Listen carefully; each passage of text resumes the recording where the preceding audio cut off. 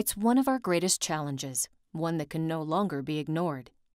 Our basic infrastructures, the systems we depend on to keep our communities safe, healthy, and prosperous, are not only under the strain of continued growth, but also in serious need of repair. It's easy to see the need for new and repaired roads and bridges, but there's also a hidden infrastructure more than a million miles of underground pipes which transport water to homes and businesses. A new report details the severity and impact of aging and expanding drinking water infrastructure in the United States. One of the biggest concerns that we have is the repairs, the replacements, and the extensions to the existing buried water infrastructure. The Buried No Longer report brings all of the issues to the surface so that we can begin the conversation about how to tackle these challenging issues.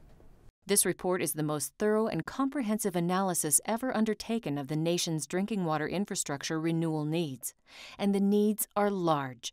It's estimated that over the next 25 years, costs to repair and expand U.S. drinking water infrastructure will top $1 trillion. That's a big number.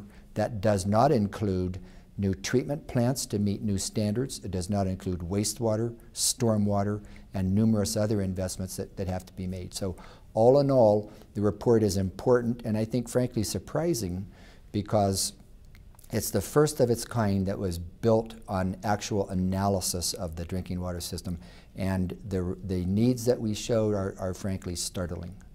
It's a cost which, to some extent, will be borne by consumers. Bottom line, for most, household water bills will go up. Paying for necessary infrastructure replacement will be a challenge for some utilities. One of the biggest challenges that water utility managers have when they're looking at the addition of infrastructure to their system or the replacement of existing infrastructure replacement is how they go about financing that. They're probably going to use a mixture of things. They're going to use rates, they're going to use debt, and they're going to probably use other sort of cash reserves that they might have. When they go to borrow money, there's a couple of different ways that they typically go about it. Many, many utilities will go to the state revolving loan funds that are available in their states. Others will go to the bond market, yet others will still go and borrow from lending institutions. And the American Water Works Association is also working on innovative financing options that the utilities can use in the future uh, to help keep the cost of infrastructure replacement low to the utility customers. As highlighted in the report, the needs vary by region. The challenges will also vary based on utility size. Because these costs are basically spread over the customers in a certain area, that smaller utilities who have fewer customers will have a higher per customer increase in their water bills as we go forward. We could, in fact, uh, come up with a national average water bill increase. But that wouldn't have meaning for you in the community where you live. What we wanted to do was provide something that's a little more specifically tailored. Regardless of size, communities facing water infrastructure replacement and expansion need to plan for ongoing costs.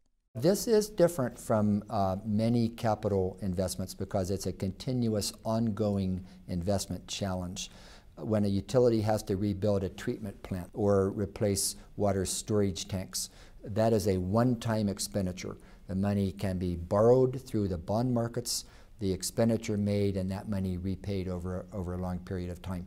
The infrastructure challenge that we document in this report is fundamentally different in that it occurs year after year after year as pipes that were laid down in the earliest years come to the end of their useful lives and have to be replaced. As soon as that's been accomplished, pipes that were laid down just a little bit later come to the end of their lives, and that goes on and on so that by the end of the study period, which we run out through 2050, uh, it's likely to start all over again. Many utilities are already addressing their infrastructure needs, but for those who haven't started or those behind the curve, the problem will only get worse with time. If you delay in any particular community, uh, the need for reinvestment doesn't go away. It simply is deferred for a while, and when ultimately the pipes reach a point where the reinvestment simply cannot be put off any longer, the cost is likely to be far higher. There was an old advertisement that ran years ago that said, you can pay me now or you can pay me later. This is definitely that kind of a case. You can make the investments when they're timely or you can delay and pay much more for the investments later. There is still time to act, and while the costs may be large, the payoff in terms of benefits that water service provides is worthwhile.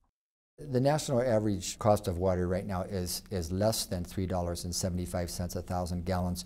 When you think what that delivers to your community, it's an incredible bargain. If you don't have a water system that can provide water to the community, to the schools, to the park systems, to the zoos, uh, and provide fire protection and public health, then, then that piece of infrastructure won't allow the other pieces of infrastructure to prosper. For the most part, people alive today, at least in my generation, didn't pay for the original investment in, in drinking water infrastructure. This was a, a, a bequest to us by earlier generations who did build it. Our responsibility is to make the investments necessary to pass this on to our descendants in good working order so that they continue to enjoy all of the public goods and benefits that come from a sound drinking water infrastructure system.